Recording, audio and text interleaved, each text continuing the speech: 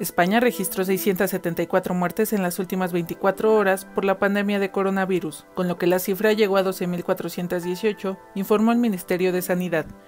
El país europeo cumple este domingo su vigésimo segundo día de confinamiento, con una reducción en el número de fallecidos diarios, que alcanzó su pico el 2 de abril con 950 muertos. Hasta el momento hay 126.168 contagiados en España y ya son 34.219 recuperados. El incremento de nuevos casos también se ha reducido de 7.026 a 6.023, la cifra más baja desde el 23 de marzo. Las autoridades sanitarias aseguran que puede haber pasado ya el pico de contagios y que por lo tanto esperan que baje la cifra de nuevos casos y muertes. En todo el mundo hay hasta este domingo 1.204.782 contagiados y 64.849 muertos.